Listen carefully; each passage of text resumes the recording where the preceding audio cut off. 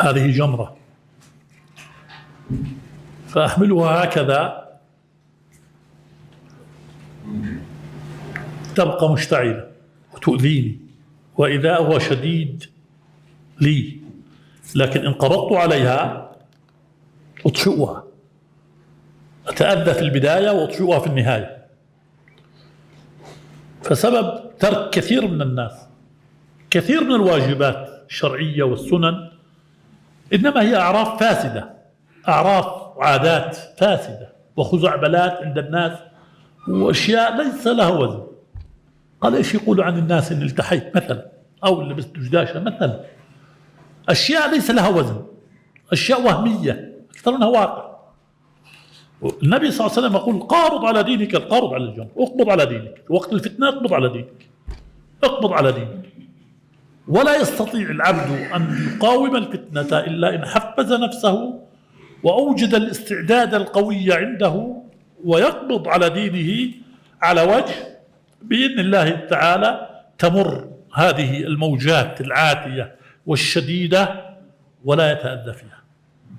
لكن انتبه عجبتني نصيحة لبعض علماء المتأخرين من الدمشقيين. كان يقول لتلاميذه عبارة حسنة.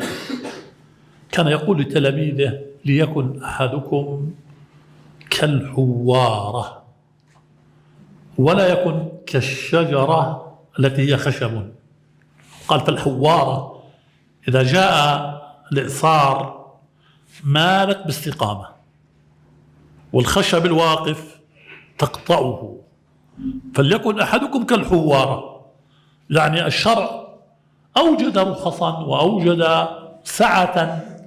حتى قال العلماء لو أن الأرض والسماء أطبقت بعضهما على بعض بحرام فإن طالب العلم يأخذ نصيبه من هذا الإطباق بالحلال لأنه يأخذ المقدار الذي فيه الحاجة والضرورة.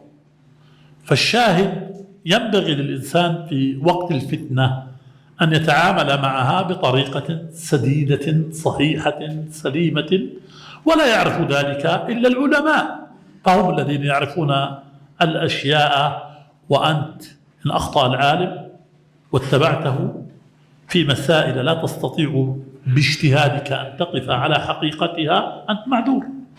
أما وأنت لست من أهل الاجتهاد فاجتهدت فكونت رأيا فأصبت فأنت موزور. ليست من أصحاب الرأي. أنت لست من أصحاب الرأي. فكيف والرأي الذي يسمع من ها هنا وهناك رأي ما أنزل الله تعالى به من سلطان ورأي في بعض الأحايين يخالف قطعيات الدين. ولماذا يخالف قطعيات الدين؟ بأشياء متوهمة بأسباب وتحليلات ليست نصية. فلا يجوز للمسلم أن يترك النص الصحيح الصريح بوجوب موالاة المؤمنين ثم أن يعطل وأن يجعل هذه الموالاة منسوخة باحتمالات سياسية وعقلية وقد تكون وقد لا تكون وإن كانت قد تكون سديدة وقد لا تكون سديدة.